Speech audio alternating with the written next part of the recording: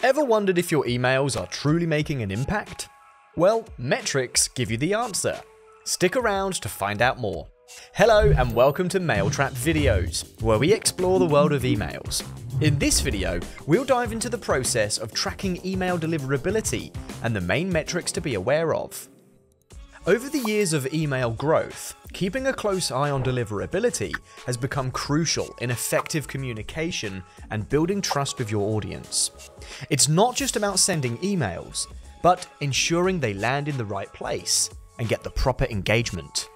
And for that to happen, you have to track your metrics. First up is the delivered rate. This metric isn't just about sent emails. Delivered rate encompasses the percentage of emails accepted by recipient mailbox providers. A high delivered rate reflects efficient infrastructure, but doesn't guarantee that your emails are being seen. Open rate is our next metric. It provides insights by showing the percentage of emails opened at least once out of all sent. A high open rate indicates a compelling subject line or a well-maintained sender reputation. Then there's the click rate. Click rate represents the percentage of emails with at least one link clicked compared to all delivered emails. A promising click rate usually signifies that your content is resonating. Moving on to bounce rate. This metric is the percentage of emails that were sent but rejected from the recipient's end.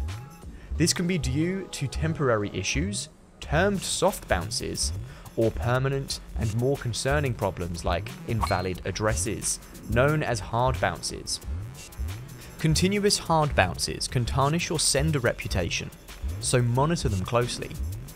For a detailed explanation of hard and soft bounces, check out our other video dedicated to this topic.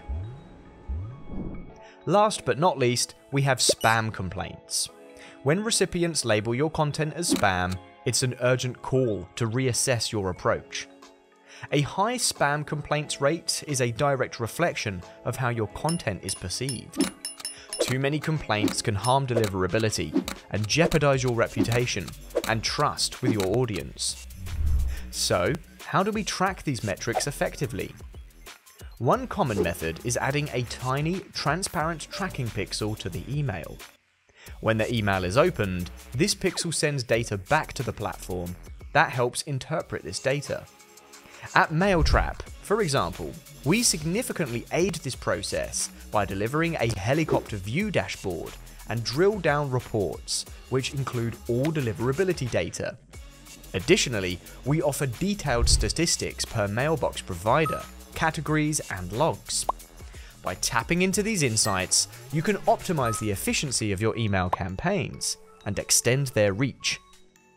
Context is king.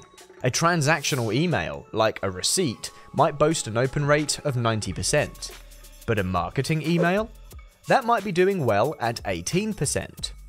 Knowing industry averages and email types helps set realistic expectations. However, it's vital to remain aware of the challenges in tracking. Regulations like GDPR mandate user consent for tracking, and features like Apple's mail privacy protection allows users to disable tracking pixels. That wraps up our dive into email metrics. Thank you for watching this video brought to you by Mailtrap, an email delivery platform to test, send, and control your email infrastructure in one place. If you found this video useful, please like, subscribe, and turn on notifications. More email related content is on the way. See you there.